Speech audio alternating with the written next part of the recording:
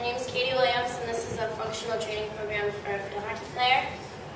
Um, the main modalities are steps and boxes and for the first exercise, um, it's going to be a two-legged bodyweight squat with your hands um, next to your head.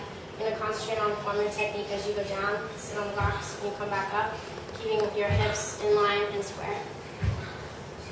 Um, you're going to do this for three sets of one minute with one minute of rest in between each set. Then you're going to progress to a two-legged lightweight squat with a 25-pound plate. Um, again, concentrating on form and technique, um, making sure that you're lifting from your legs and not your back. Um, you're going to do this for um, three sets of one minute with one minute of rest in between.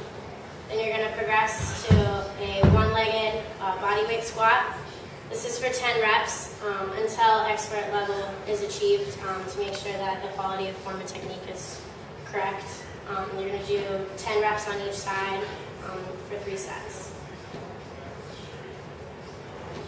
Um, the next exercise is the agility ladder. Um, you're going to move laterally through the ladder on the right and the left side.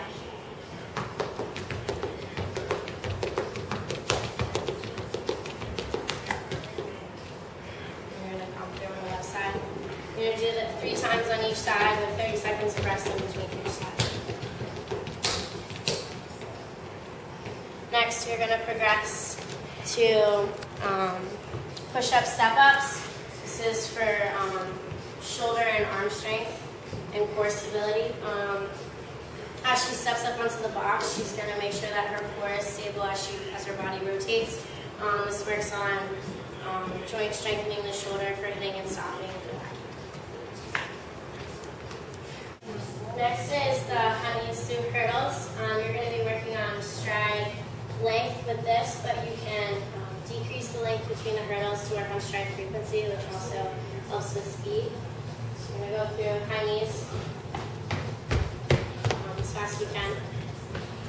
Um, next we have the box circuit. Um, Ashley's going to sprint forward, uh, side shuffle, back through this um, between 5 and 10 times um, with limited rest in between. This works on staying low, muscular endurance, and footwork, um, breaking down steps in order to get to the ball, like she would have to for that. Um, next we have box jumps. Um, this also works on muscular endurance. Um, she's going to jump with both feet onto the box. She's going to try to have a soft landing and make sure that her whole foot hits up on the box. She's going to do this for three sets of one minute with one minute of rest in between. Um, this functional training program helps with footwork, agility, and muscular endurance, which are the three main components of the hockey.